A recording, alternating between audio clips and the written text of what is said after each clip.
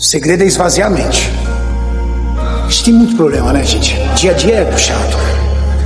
Conta pra pagar, é chefe. Às vezes as coisas em casa não vão muito bem.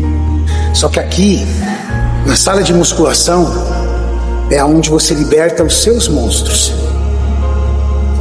É onde você exorciza os seus fantasmas. E para isso, meu amigo, ter coragem. Mas isso é bom. É bom demais. Aqui é a melhor terapia para os teus problemas. Fazia a mente. Mas quando você está na academia, meu amado, você está literalmente beneficiando a si próprio. É o momento que você está cuidando de você, é o momento que você está entregando para você, é o momento que você está sendo egoísta. E de vez em quando é preciso ser egoísta.